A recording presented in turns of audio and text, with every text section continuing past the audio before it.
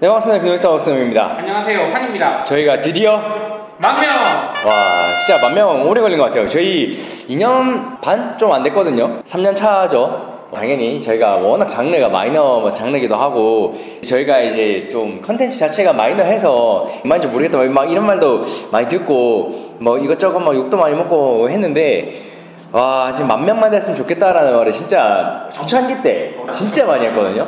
어, 근데 나중에는 그 말이 안 나오더라고요. 이게 너무 더디기도 더디고 나중에는 좀 내려놨던 것 같아요. 근데 어느샌가 이것저것 하다가 그리고 저희 이제 프랑스 갔다가 프랑스 소믈리에한테 조금 접대받는 거 영상이 그게 좀 떠가지고 그때부터 아마 5천 명대부터 한 8천 명대까지 엄청 많이 올라갔던 것 갔던 것 같아요. 그러고 나서 9천 명 올라가고 나머지 1천 명이 좀 더 졌었어요.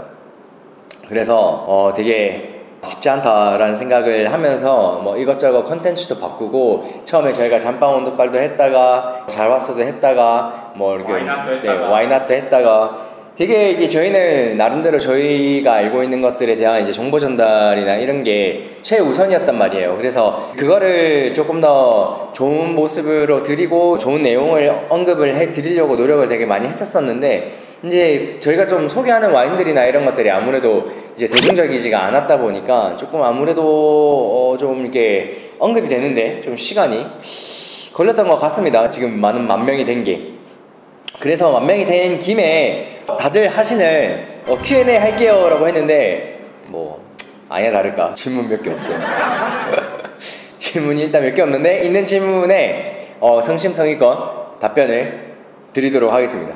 이 다른데 뭐 Q&A 보니까 뭐 직업이 뭐예요? 예를 들어서 요리면에 뭐 요리 배운 적이 있으신가요? 뭐 이런 건 묻던데요. 뭐 저는 다 알고 있으니까요. 이제 뭐 팬티 묻더라고요.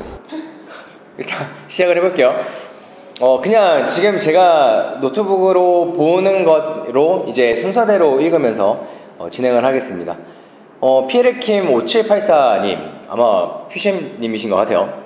어 일단 네 드디어 1만 돌파 축하드립니다. 개인적으로 초창기에 그 컨텐츠를 애정하는데요. 어, 개별 와인이 아닌 와인 일반에 대한 이제 컨텐츠도 향후에 기대도 될까요? 라고 말씀을 하셨어요. 근데 이게 방금 저희가 또 말씀을 드렸다시피 와인적인 부분에서 이제 일반적인 내용, 지식 뭐 이런 것들을 말씀을 하시는 것 같아요. 근데 이제 저희가 좀 깊게 들어가면 갈수록 사실은 아 이게 쉽지가 않습니다. 이게 어찌됐건 간에 유튜브라는 게 이제 뭐 TV 같은 거기 때문에 많이 봐주셔야 되는데 이제 저희가 그렇게 진지하게 다가갈수록 사실 뷰수가 안 나옵니다. 그래서 어 이거는 저희가 장담을 못 드리겠어요. 이게 계속 할, 할 거다 앞으로 계획이 있다 없다라는 거에 어 이게 장담을 드리기가 되게 어려울 것 같습니다. 그래서 저희가 당신의 와인을 리뷰합니다. 당화리를 하는 겁니다. 이게 뭐 늦게 들어오신 분은 모르시겠지만 저희가 잘봤소라고 잘 만든 와인 소개합니다 라고 해서 저희가 쓰는 와인들 중에 좋은 것들을 이제 소개를 하고 어떤 와인인지 어떤 지역인지 뭐 이런 것들을 소개했던 컨텐츠가 있었었고요. 그리고 와인아트 해가지고 이제 와인 지식이나 와인 뭐 그런 것들을 알려드리는데 너무 어렵지 않게끔 풀어가지고 알려드리는 게 있었는데 근데 사실 당화리가 결국 이 두 가지를 합친 거거든요.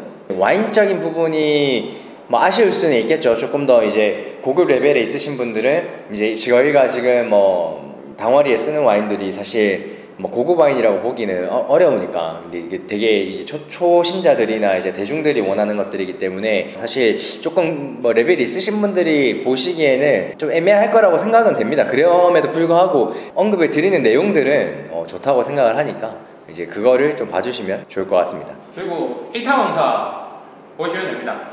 1강, 아, 그쵸. 1강은 저희가 좋은 거를 쓰니까요. 네, 뭐 일반적인 와인 컨텐츠 부분보다 저희가 더 좋은 컨텐츠로 1타 강사를 진행을 하고 있으니까 1타 강사를 봐주시면 감사하겠습니다. 여러분들도 와인 공부 될수 있어요. 와인 고수 될 수 있어요. 와인이 아직도 어렵나? 와인 그런 거 딱 집중해서 3, 40분만 하면 돼. 절대 어렵게 와인 공부하지 마. 눈으로 딱 보고 코로 향떡 맡고 입으로 느끼면 그게 다야. 그래도 모르겠다고 비노이스타 1타 강사만 따라와. 나 니도 와인 고수 될 수 있어.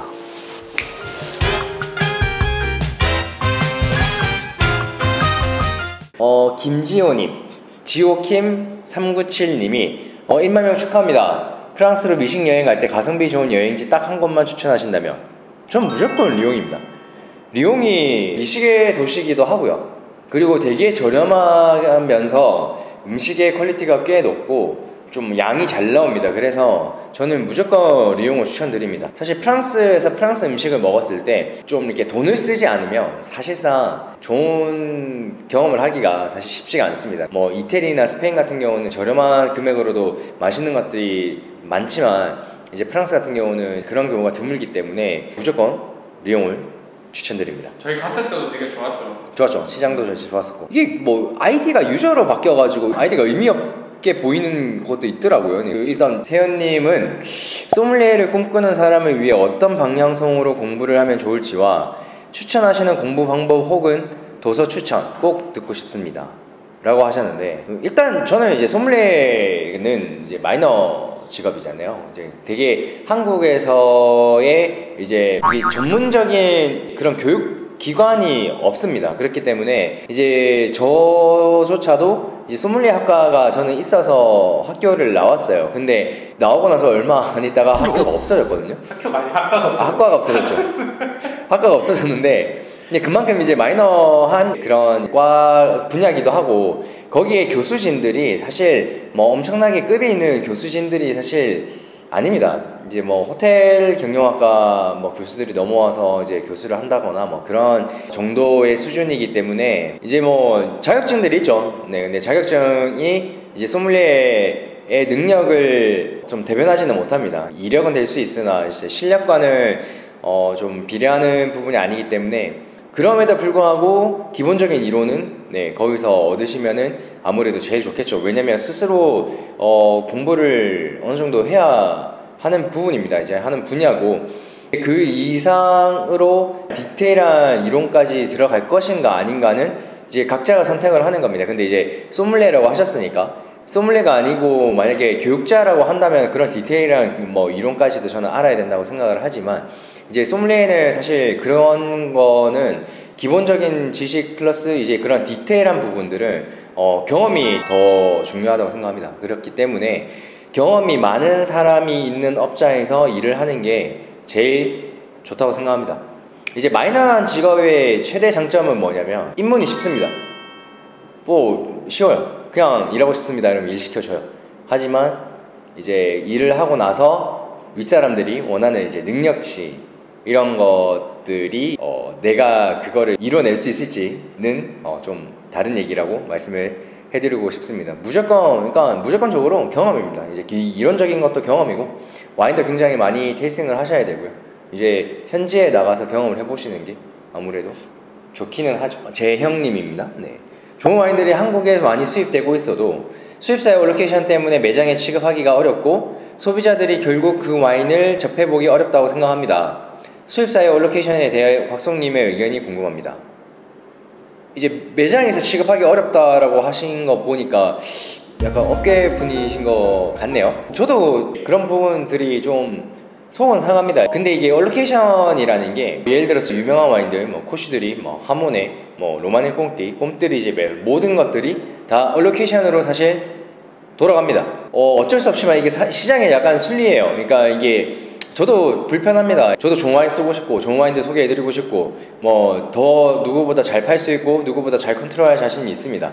대한민국에서 저는 비싼 와인 누구보다 많이 만졌고 누구보다 컨트롤 잘할 자신이 있음에도 불구하고 제 손에는 그런 와인들이 없죠. 어, 아쉽다고 생각합니다. 이제 수입사들이 사실 소매로 이제 일반인들한테 뭐 공가 가격에 되게 싸게 파는 거는 이미 다들 아실 겁니다. 근데 뭐 수입사 입장에서 보면은 어느 정도 이해는 됩니다. 업장에 줘봐야 업장에 팔리지 안 팔릴지 모르잖아요. 그 고가 와인이 몇백만 원 하는 것들이 뭐 백만 원, 남집 몇십만 원, 뭐 오십만 원만 넘어가도 팔기가 어려운 상황인데 이제 그 상황에 뭐 예를 들어서 창원이다. 창원에 열 명이 모여가지고 야 우리 천만 원씩 낼 테니까 1억치 니네가 알아서 줘 해줄게. 그 대신 니네 공가해줘 해주겠죠. 저는 안 해줄 것 같습니다만 수입자 입장에서 당연한 거라고 생각합니다. 왜냐면 돈이 돌아야 되잖아요. 돈이 돌아야 다음 게 물건이 들어오고 이제 판매가 더뎌서 물건이 계속 내가 가지고 있어야 한다고 한다면 다 네, 돈이 돈입니다. 사람들이 이제 연봉으로 얘기 많이 하잖아요. 연봉, 월급. 저희가 팔아야 월급이 되고 팔아야 연봉이 되는 겁니다. 저희는 못 팔면 수입자들은 다 그냥 네, 망하는 겁니다. 악성 재고라고 하죠. 네, 그렇기 때문에 저도 싫습니다. 싫고 이런 시장이 뭐 만족스럽진 않습니다. 하지만 어쩔 수는 없다고 생각을 합니다. 수입사들이 어, 조금만 똑똑하게 굴어주면 좋지 않을까. 뭐 예를 들어서 allocation이라고 했을 때 뭐 불과 얼마 전까지만 해도 지금 금리 떼기 전까지만 해도 이제 코로나 때부터 이제 샵들이 만원 떼기 했었죠. 공가 받아가지고 만 원 붙여서 파는 거. 그러면 고급 와인들이 당연히 저렴해집니다. 거의 현지가랑 비슷해져요. 왜냐하면 본가가 거의 현지가랑 비슷하기 때문에. 그러면 이제 그렇게 봤을 때 과연 맞는 걸까요? 잘 모르는 사람들이 그 와인을 저렴하게 마셨다고 쳐요. 그러면 그 사람은 그 와인이 그냥 그 값어치가 되는 겁니다. 그럼 한국에서 두 번 다시 그 와인을 그 가격 이상으로 판매하기가 쉽지 않습니다. 그렇기 때문에 수입사도 똑똑해져야 되고요. 이거 만 원 더 싸대, 2만 원 더 싸대, 뭐 직구하려고 하고 이런 것들 뭐 이해는 합니다. 뭐더 싸게 먹고 싶죠. 뭐 당연히 와인이 뭐 싸지도 않으니까 이제 싸게 먹고 싶은 거는 이해하는데, 근데 그게 반복이 되고 소비자도 소비를 하려고 들지 않고 어 이제 판매하는 애들도 판매하기 바빠가지고 소비자들한테 이해시키려고 들지 않고 이런 시장들이 반복이 되면 결국 그냥 와인 시장은 한국에서 없다 보시면 됩니다. 지금 사실 뭐 10년 전이나 지금이나 다를 게 없습니다.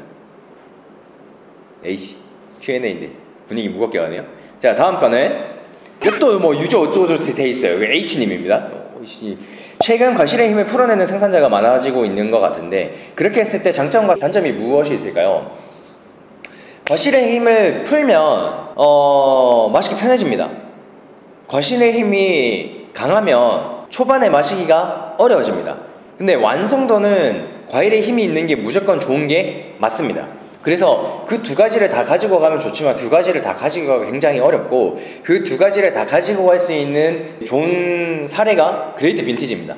뭐 2010년, 2016년처럼 풍성하면서도 구조감을 같이 가지고 갈 수 있는 게 최고의 빈티지라고 하지만 그런 빈티지는 흔하지 않죠. 그렇기 때문에 어 쉽지 않은 부분이고 어 요즘에는 해가 점점 뜨거워지고 있기 때문에 이제 과속을 시키는 것보다는 조금 더 풀어내려고 노력을 많이 하는 편인데 뭐 그런 것들이 뭐 장단점이라고 하면은 이제 더 이상 예전에 저희가 알고 있는 숙성이 되었을 때 나이가 들었을 때 올 수 있는 그런 감동적인 어, 모습은 이렇게 힘이 풀어낸 와인들한테는 더 이상 기대할 수가 없다. 플러스 보통 힘을 요즘 최고로 빨리 풀어낸 지역들을 보면 대부분 돈이 많은 지역입니다. 다 대기업들이에요. 이유는 뭐냐? 힘을 푼다는 거는 생산량을 늘릴 수가 있고 생산량을 늘리면 돈을 벌 수가 있습니다. 그렇다고 지네가 뭐 가격을 낮췄나요? 아니죠. 그러면 뭐다? 돈을 번다. 개꿀띠. 놈들. 그렇습니다. 자, 그 다음 네, 최근 처음 접해본 와인 중에 좋았던 와인이 있으신지 궁금합니다. 어, 일단 제가 여태까지 경험했던 와인들보다 더 뛰어난 와인들을 경험은 네, 최근에 못하고 있습니다. 있는데 뭐 볼랑저랑 이제 린지바주 애들이 호주 넘어가서 만든 와인이 있더라고요. 거기서 이제 샤르도네랑 피노랑 뭐 소비뇽 블랑이 있었는데 셋 다 막 엄청나게 high quality라고 보긴 어려웠지만 굉장히 호주에서 이렇게 만들어질 수도 있구나라는 생각을 했습니다. 그거 그런 거 말고는 저는 이제 사실 와인에 뭐 엄청 큰 감동을 못 느껴서 모르겠네요. 그렇게 막 좋았다? 근데 요즘엔 그런 거 별로 없는 것 같습니다. 데이비드 홍님 새로 수입 되는 와인 중 피노가 있을까요? 피노 중에 뭘 제일 좋아하시는지 궁금합니다. 네, 피노가 있긴 합니다. 이제 시루그라고 이제 5월에 병입이 돼서 아마 가을쯤에 이제 들어올 것 같고요. 이번에 5월에 들어오는 품목에는 피노는 없습니다. 뭘 제일 좋아하는지 궁금합니다. 피노? 제일 좋아하는 피노? 네, 뭐 딱히 그런 거 없어요. 네, 뭐, 뭐, 당연히 top 와이너리들도 다 좋아하고, 이제 피노가 만들어지는 생산자에 따라서 이제 캐릭터가 굉장히 많이 다릅니다. 그렇기 때문에 무엇이 좋다, 무엇이 나쁘다, 막 이렇게 이야기가 되게 어렵습니다. 그래서 잘 만드는 집들 중에서는 더 좋은 모습을 보이는 밭, 뭐, 지금 더 좋은 모습을 보일 수 있는 빈티지. 예를 들어서 뜨거운 빈티지, 조금 힘이 없는 빈티지를 봤을 때 생산자마다 이제 조금 더 표현할 수 있는 모습이 조금 다르거든요. 그래서 이제 생산자를 잘 알고 계시면 그런 거를 고를 수가 있습니다. 그때 캐릭터에 따라서 뭐 빈티지가 뭐 이렇게 있다 하면 뭐 그거 안에서 고르든지 뭐 그렇게 합니다. 그렇기 때문에 이렇게 말씀드리기 어려울 것 같아요. 저는 이제 외국 나가서도 무조건 great 빈티지 무조건 좋은 와인만 마시지는 않기 때문에 그렇습니다. 지금 보여주는 모습이 좋을 것 같은 빈티지를 보시죠. 네, 그게 아무래도 저를 가장 지금 즐겁게 해주는 와인이니까요. 어, 네, 뭐 축하드려요. 번창번창. 와인잔 중에서 어, 리우디에는 안 쓰시는 건데 시도니우스랑 자페라노 잔 예상되는 평가 가능하시면 부탁드려요 라고 하셨어요. 그래서 제가 이 잔을 써본 적 이 없기 때문에 자페라노만 그때 부산에서 콜라보 할 때이 잔을 쓰셔가지고 어, 좀 썼었는데 네 일단 그거를 보고 말씀을 드리자면 일단 자페라노 같은 경우는 저한테는 너무 향을 가두는 잔입니다. 이 높이가 높지가 않고 향을 너무 극적으로 가두게끔 되어 있고 입구가 생각보다 좁아서 향을 맡기는 좋은데 온도가 조금만 올라가도 되게 좀 불편해질 수 있는 느낌 이라고 생각을 합니다. 그래서 만약에 이걸 쓰시는 분들은 잔에 이제 음료를 조금씩 담아가면서 드시는 게 좋으실 것 같고요. 시도니우스란 잔을 이게 모양을 보니까 약간 V쉐으로 되어 있는 게 화이트인 것 같고 약간 볼륨 있게 되어 있는 게 보르도고 뭐 부르고뉴는 부르고뉴 잔 같이 생긴 것 같은데 약간 쉐입만 보면은 향을 막 극적으로 가두는 잔들은 아닌 것 같아요. 그래서 향이 발산력이 좋은 애들을 담으면 나쁘지 않을 것 같긴 한데 지금 이렇게 저희가 사진만 봐가지고는 용량을 모르겠어가지고 네 이게 뭐 정확하게 말씀드리기는 어려울 것 같습니다. 근데 뭐 일단 두 집이 굉장히 좀 다른 성격의 잔인 것 같습니다. 네, 달 1193님 어, 네, 뭐 저희 찐팬이고요. 1번 평생 한 병의 와인만 마실 수 있다면 어떤 걸 고를지. 이제 한 병만 계속 먹는다는 말씀이시죠. 뭐 이거는 제가 몇 번 언급을 드린 적이 있는데, 어, 네, 코시 뒤리의 맥스 후주 빌라주를 어 그냥 네 평생 한 병만 마시고 살 수 있다면 어, 그것만 마시고 살 것 같습니다. 근데 이제 코시 뒤리가 보면은 레드 같은 경우는 빈티지가 좀 강한 빈티지 예를 들어서 03, 05, 09 이런 빈티지는 좀 세게 나옵니다. 그래서 그런 빈티지는 좀 피하고 싶고요. 차라리 오프빈을 골라서 평생 한 명만 마실 수 있다면 네, 코시도리 레드 빌라주를 마시도록 하겠습니다. 2번 죽기 전 마지막으로 마시고 싶은 와인 예산 무제한 딱 죽기 직전에 나 이거 마시면서 어 후소 샴베르땅 가겠습니다. 후소 샴베르땅. 네, 후소 샴베르땅이 가장 힘과 직관적인 느낌을 모두 다 가지고 이제 그 극한의 섬세함이나 이런 것들을 다 표현하는 와인이기 때문에 죽기 전에 컨트롤할 시간이 없잖아요. 네, 그래서 되게 빠르게 즐거움을 얻고 가려면 어, 이게 제일 어, 정답일 것 같네요. 후소 샴베르땅 가겠습니다. 예, 후미의 미신이 이런 건 안 열리거든요. 그리고 이희성님 평생 운동 못하기 vs 평생 와인 못 마시기. 일단 평생 운동 못하기와 평생 와인 못 마시기를 한다면은 그냥 평생 와인 못 마시기를 택할 것 같습니다. 사실 일반인분들이 이해 못하시리만큼 몸을 깎아가면서 저는 어, 테이스팅을 합니다. 그렇기 때문에 여태까지 그렇게 살아왔고 지금 근 10년을 저는 제 몸을 버려가면서 이제 와인을 밀어넣고 있고 그거에 대한 데이터를 얻고 있는 거기 때문에 이제 몸 나이가 좀 들어가면서 몸이나 이런 것들에 있어 가지고 조금 피곤함을 느낍니다. 그래서 그냥 뭐 드는 생각이 무슨 부귀영화 누리자고 이렇게까지 내가 경험을 하나 싶은 생각이 한타가 가끔 올 때가 있기 때문에 네 그냥 평생 운동 못할 바에야 평생 와인 안 마시는 게 낫지 않을까 싶습니다. 그리고 지수 아님, 네 하지수님인가 보네요. 만약 직업, 직접 와인을 만들어야 한다면 어떤 품종을 사용해서 어떤 캐릭터를 표현하고 싶으실까요? 어, 단일 품종만을 사용해서 만드는 경우와 블렌딩한 경우 각각 한 병씩 총 두 병 제한. 당연히 단일 품종은 피노겠죠. 네, 피노 할 것 같아요. 근데 이게 꼭 직접 만들어야만 한다라는 게 사실 이게, 이게 전제 조건이잖아요. 아, 그러면 그냥 피노 안 할 것 같아요. 그냥 그르나슈로 갈 것 같습니다. 왜요? 피노 너무 어려우니까. 피노를 잘 만들 자신이 없으니까.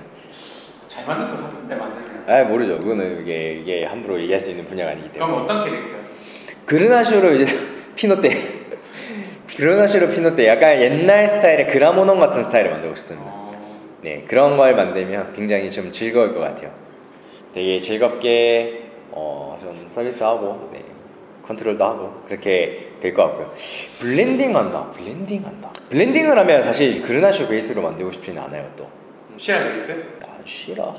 카리냥? 아니 보르도 블렌딩? 아니 뭐 그르나슈 시라 같은 블렌딩을 해서 고생 같은 거 하는 만들겠습니다. 뭐 될지 안 될지 모르겠지만 그렇죠. 요 이제 그 다음 평생 배달비 무료 vs 평생 택배비 무료 같은 거 아니에요? 배달비는 음식이고 택배비는 주문한 거고. 저 배달비랑 저 택배비가 얼마 나오는지 잘 모르겠는데 그래도 배달비, 배달비 무료가 나을 거야. 왜냐면 배달비는 자주 시키는데 택배는 잘 안 시키잖아. 우리 택배 엄청 자주 시키는데 어차피 음식 시키는 택배 시키면 그것도 배달 약간 비슷한 거잖아. 어렵네. 그냥 어 근데 배달비 할게요. 배달비가 뭔가 음식이 약간 요즘 치킨 3만 원 시대. 2만 원짜리 치킨 시켰는데 3만 원 올라가는 건 열받잖아. 배달비 무료로 가겠습니다. 그 다음은 부럽거나 어, 지향하는 와인 수입사가 있다면 국내면 좋겠지만 해외 포함. 어떤 면에서 부럽거나 지향하는 건지. 부러운 거는 전 대기업 수입사가 당연히 부럽죠. 자본력이 부럽습니다 저는 이 뭐 아이템이 부러운 게 아니에요 자본력이 부럽고 예를 들어서 뭐 신세계 뭐 금양 롯데 뭐 그런 수입사가 오히려 저는 부럽고요 아니면 뭐, 뭐 크리스탈? 크리스탈은 사실 그죠 이게 팬층도 두텁고 되게 가격이 싼 것 같지도 않은데 욕도 안 먹고 저희는 욕 태바가지로 먹는데 약간 뭐 그런 거? 약간 저희랑 이미지가 다른 그런 게 좀 부럽기도 하고 지향하는 바는 없습니다. 저희가 운영하는 비누일스타 수입사가 제가 지향하는 바로 운영을 하고 있습니다. 저는 어떤 수입사도 제가 지향하는 바대로 운영하는 수입사를 본 적이 없기 때문에 어, 부러운 거는 네, 자- 자본력이 부럽습니다. 돈. 예, 저희가 뭐 커뮤니티에서 늘 얘기하는 폭리를 취하고 있음에도 불구하고 네, 돈이 없어서 네, 저희는 자본력이 없어가지고 네, 그런 것들이 부럽습니다. 금주 최대 몇 달까지 해보셨나요? 저는 4년. 어, 일주일도 해본 적 없네. 저는 이틀 이상 술을 안 마신 적이 없습니다. 저는 이게 10년 동안 이틀 이상 술을 입에 안 대본 적이 없기 때문에 요즘 좀 안 마시려고 오히려 노력을 하고 있습니다. 자, 내가 와인 소믈리에가 되지 않았다면 지금 박선님과 매니저님의 직업은 무엇이었을까요? 못했을 것 같습니까? 전 뭐 회사를 계속 다니고 있었겠죠. 아, 저는 PT샵 주인. 모르겠습니다. 네. 운동하지 않을까요? 운동했지 않았을까요? 운동을 좋아하니까. 어릴 때부터 뭐 관심사라고는 뭐 그런 쪽밖에 없었어가지고 어, 선호하는 팬티 타입은 사각 팬티, 삼각 팬티, no 팬티 먹어보고 싶은 꿈의 와인은 전 드로즈 팬티 좋아합니다. 사각, 삼각 네, 보다 그냥 드로즈 네, 보기 없네요. no 팬티는 불편해가지고 먹어보고 싶은 꿈의 와인을 먹어보고 싶은 꿈의 와인. 전 그런 게 없습니다. 저는 tasting을 못 해본 게, 아, 저 앙리자이에 못 마셔봤어요. 앙리자이에 좋은 컨디션이 있으면 한번 마셔보고 싶긴 한데, 지금 현 시점에서 앙리자이가 있을 리가 없기 때문에, 사실, 뭐, 꿈의 와인이라기보다 궁금한 거지, 마시고 싶다 뭐 이런 느낌은 아니다. 네, 뭐 그런 건 아니에요. 마지막에 뭐, 이거는 이제 저희 그 Q&A라기보다는 시음의 위치는 혹시 리우드일까요? 라고 하셨는데, 아닙니다. 이제 저희가 그 장소 어차피 그 투표를 했기 때문에 어, 서울로 지정이 됐습니다. 그래서 저희가 서울로 갑니다.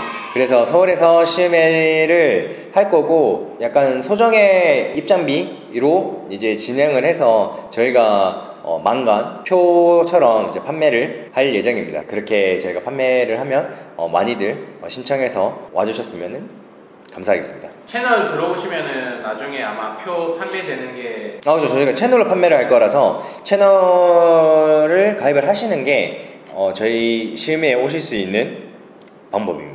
밑에 더보기란에 링크 있습니다. 채널 들어와서 저희 티켓이나 이런 거 판매하면 네, 들어오시면 좋겠고요.